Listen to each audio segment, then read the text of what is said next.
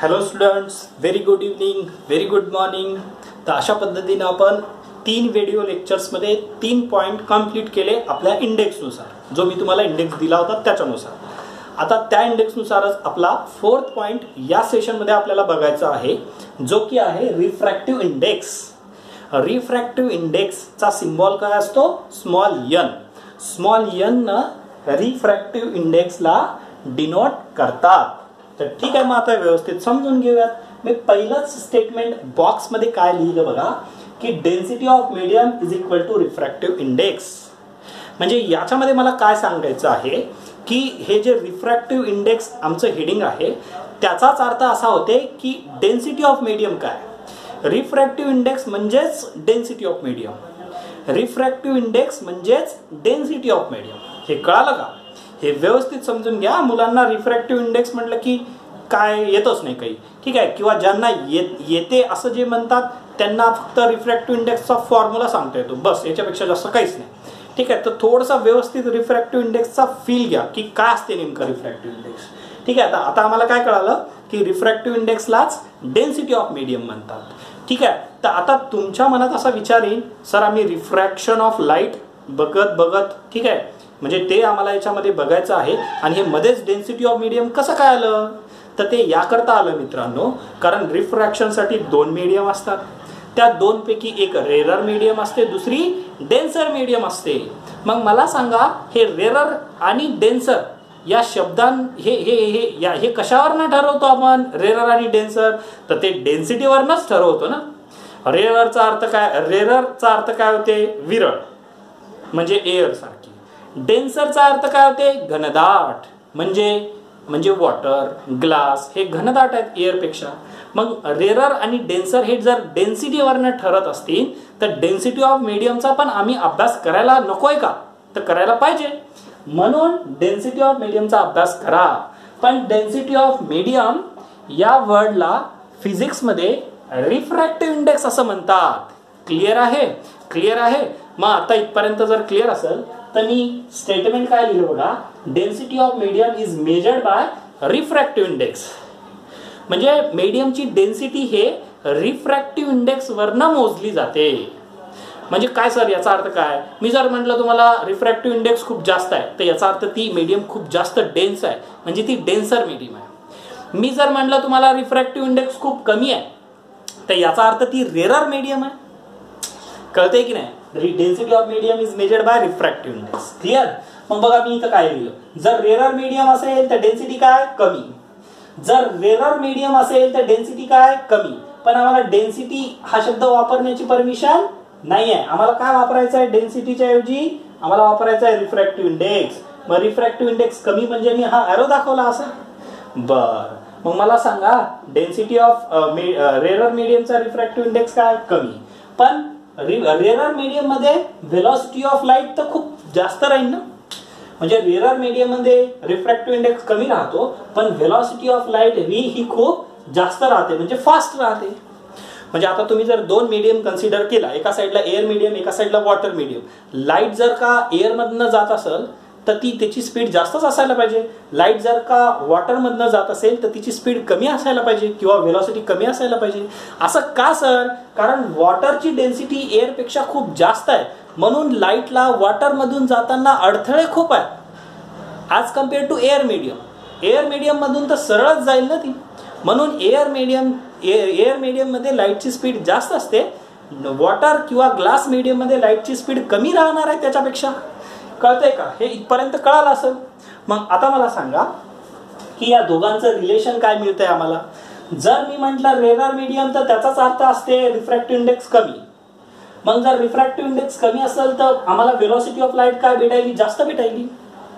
बघा ना rarer medium velocity of light is high किंवा फास्ट जर मी तुम्हाला याच्या रेरर मीडियमच्या ऐवजी डेन्सर मीडियम म्हटलं डेन्सर मीडियम तर डेन्सर मीडियमचा रिफ्रॅक्टिव्ह इंडेक्स खूप जास्त असते कारण ती डेन्स असते ना. डेन्स म्हणजे जास्त डेन्सिटी आणि जास्त डेन्सिटी म्हणजेच रिफ्रॅक्टिव्ह इंडेक्स सुद्धा जास्त. मग जर मी तुम्हाला डेन्सर मीडियम म्हणलं तिथं ती स्पीड काय होणार आहे? लाईटची कमी होणार आहे कारण वॉटरमधून कमी राहते. वॉटरमधून जाताना लाईटला अडथळे आहेत खूप. म्हणून स्पीड कमी होणार आहे. मग मला थोडक्यात काय म्हणायचं की स्पीड व्हेलॉसिटी ऑफ लाइट आणि रिफ्रॅक्टिव्ह इंडेक्स यांचा संबंध काय आहे? संबंध काय आहे? म्हणजे ठीक आहे ते कुठल्या प्रपोर्शनॅलिटीमध्ये आहे इन्व्हर्सली प्रपोर्शनल आहेत ते. म्हणजे बघा ना रिफ्रॅक्टिव्ह इंडेक्स कमी तर स्पीड जास्त. रिफ्रॅक्टिव्ह इंडेक्स जास्त तर व्हेलॉसिटी ऑफ लाइट कमी. असं आहे. म्हणून मी हे बॉक्समध्ये ते मांडलं की refractive index of media is inversely proportional to velocity of light पुन्हा एकदा refractive index of media is inversely proportional to velocity of medium मी जे आत्तापर्यंत बडबड केली याच्यामध्ये मला दोनच गोष्टी सांगायच्या होत्या. त्यापैकी पहिली म्हणजे या रिफ्रॅक्टिव्ह इंडेक्सलाच डेन्सिटी ऑफ मीडियम म्हणतात किंवा मीडियमची डेन्सिटी हे रिफ्रॅक्टिव्ह इंडेक्सनं कॅल्क्युलेट करतात. ही एक गोष्ट सांगायची मला होती. आणि दुसरी म्हणजे या रिफ्रॅक्टिव्ह इंडेक्स यनचं आणि व्हेलॉसिटी ऑफ लाईटचा संबंध हा इन्व्हर्सली प्रोपोर्शनल आहे.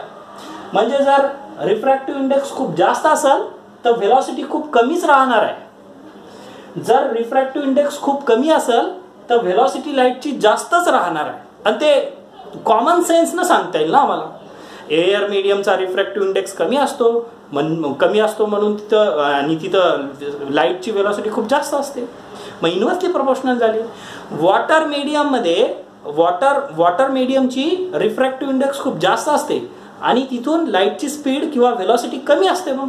मग इन्व्हर्सली प्रपोर्शनल झालं ना.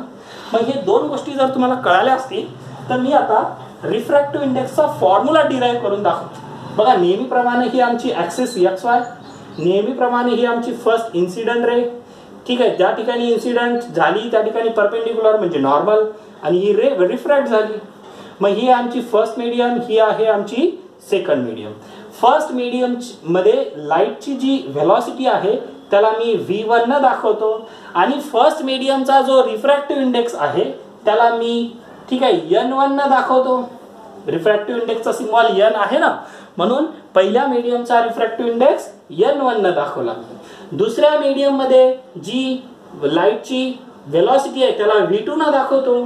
आणि दुसऱ्या मीडियममध्ये लाइट दुसऱ्या मीडियमचा जो रिफ्रॅक्टिव्ह इंडेक्स आहे त्याला एन टू न दाखवतो. इथपर्यंत क्लिअर आहे? मग मला सांगा आत्ताच आम्ही पाहिलं या दोघांचा संबंध कसा असतो? व्हेलॉसिटी आणि रिफ्रॅक्टिव्ह इंडेक्सचा व्हेलॉसिटी आणि रिफ्रॅक्टिव्ह इंडेक्स यांचा संबंध कसा असतो सर तर तो इन्व्हर्सली प्रपोर्शनल असतो. म्हणजे याचा अर्थ N one is inversely proportional to V one बरोबर आहे की नाही? And N two is inversely proportional to V two बरोबर आहे? मग मला सांगा याला मी असं लिहू शकतो का? N one is equal to one by V one बरोबर आहे? असं लिहू शकतो. And N two is equal to one by V two proportionality काढून टाकलं आणि इक्वॅलिटी म्हणजे इज इक्वल टू लावल्यानंतर हे निघून जातं. आणि इथं प्रपोर्शनॅलिटी कॉन्स्टंट वन कन्सिडर केला आम्ही काय फरक पडत नाही? याला असं लिहिता येतं. मग हे इक्वेशन वन आहे आमचं हे इक्वेशन टू आहे. मला सांगा इक्वेशन टू ला जर मी वन न डिवाइड केलं तर काय होईल हो sir two with respect to one is equal to काय? टूचं one by V two whole divided by one by V one असं होईल?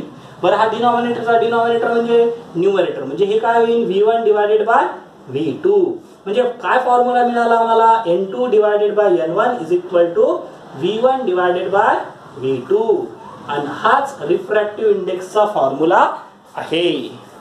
कळालं इथपर्यंत? याच्यामध्ये तर मी दोनच स्टेटमेंट सांगितलं. लिहिताना तुम्ही सगळंच लिहून घ्यायचं पण हे खूप जास्त महत्वाचं इक्वेशन आहे आणि हे कन्सेप्ट महत्वाचं आहे. ठीक आहे? हे दोन समजल्यानंतर मी याच्यावरती आलो. हे तर खूप सोपं आहे. पहिल्या मीडियममध्ये व्ही वन आणि एन वन एन वन म्हणजे रिफ्रॅक्टिव्ह इंडेक्स व्ही वन म्हणजे वेलॉसिटी ऑफ लाइट दुसऱ्या मीडियमसाठी N two V two V two म्हणजे velocity of light in second medium N two म्हणजे refractive index of second medium आणि मग त्याला मांडत गेलो कारण ते इन्व्हर्सली प्रोपोर्शनल आहे आम्हाला कळालं. मांडल्यानंतर आम्ही या इक्वेशन पर्यंत पोहोचलो. आता या इक्वेशन या इक्वेशनला मी थर्ड इक्वेशन म्हणतो. आणि ही एवढी जागा थोडीशी मिटवतोय. तुम्ही हे सगळं व्यवस्थित लिहून घेतलेलं असलं पाहिजे किंवा सगळं व्हिडिओ झाल्यानंतर लिहून घ्या. ठीक आहे? बघा आता मी इक्वेशन थर्ड ला ना कशा पद्धतीने लिहितो बघा?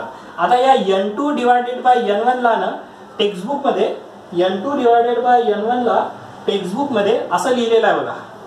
ठीक आहे एन टू एन वन म्हणजे याचाच अर्थ हा सिम्बॉल आहे ratio of N two by N वनचा मग हे जर आपण इक्वेशन थ्रीमध्ये पुट केलं म्हणजे पुट इन इक्वेशन थ्री तर इक्वेशन थ्री कसं बनल? तर N one two N two is equal to V one by V V one by V two ठीक आहे?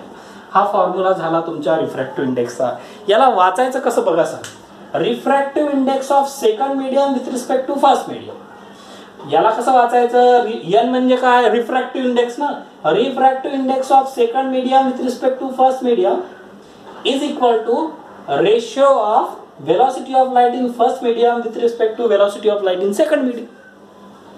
कळतंय की नाही? या सिम्बॉलला कसं वाचायचं? हा रेशिओ आहे ना सेकंड बाय वनचा याला सिम्बॉलिकली असं लिहितात. पण हा तर रेशिओ आहे ना एन टू बाय एन वनचा मग बघा मी याच्यावरनं रिफ्रॅक्टिव्ह इंडेक्सची डेफिनेशन लिहितो आता. ठीक आहे रिफ्रॅक्टिव्ह इंडेक्सची डेफिनेशन काय? की refractive index of second medium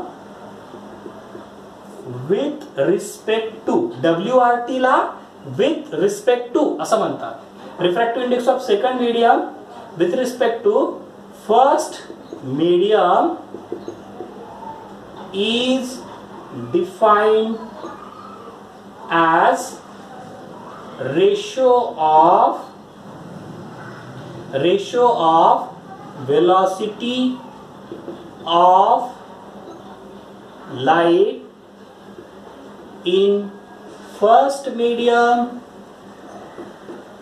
to velocity of light in second medium ठीक आहे? ते जे वरचं फॉर्म्युला होता त्याच्यावरनं डेफिनेशन लिहिली. ठीक आहे? कशा पद्धतीने लिहिली? बघा याचा अर्थ काय? Refractive index of second medium with respect to first medium आणि यालाच कसं डिफाईन केलं आपण? Is equal to ratio of velocity of light in first medium with respect to second medium मग हे स्टेटमेंट तसंच लिहिलं आपण.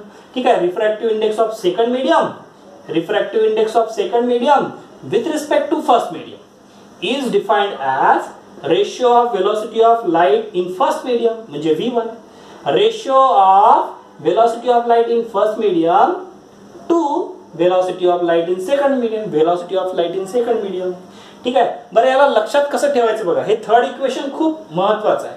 बघा N two by N one लिहिलं तर तुम्हाला इकडं V one by V two लिहावं लागेल. आणि जर का मी N one by N two असं लिहिलं तर V two by V one लिहावं लागेल. कारण ते इन्व्हर्सली प्रपोर्शनल आहेत. पुन्हा एकदा जर मी N one by N two लिहिलं N one by N two असं जर लिहिलं तर V two by V one लिहावं लागेल. आणि N two by N one जर असेल तर V one by V two कारण ते इन्व्हर्सली प्रपोर्शनल आहेत. आणि याच्यावरनच ही डेफिनेशन आली की refractive index of second medium with respect to first medium is defined as म्हणजे हा सिम्बॉल आहे. हे एवढं स्टेटमेंट म्हणजे हा सिम्बॉल आहे. इज डिफाईंड ऍज आता याला लिहा. Ratio of velocity of light in first medium ratio of velocity of light in first medium to velocity of light in second medium ठीक आहे? अशा पद्धतीनं तुम्हाला रिफ्रॅक्टिव्ह इंडेक्स म्हणजे काय? त्याचा फॉर्म्युला त्याची डेफिनेशन हे कळालं. नेक्स्ट लेक्चरमध्ये मी या रिफ्रॅक्टिव्ह इंडेक्सवरचा एक न्यूमरिकल म्हणजेच प्रॉब्लेम समजून सांगणार आहे. तोपर्यंत व्यवस्थित याला लिहून घ्या आणि आपण आज इथे थांबणार आहोत. Thank you very much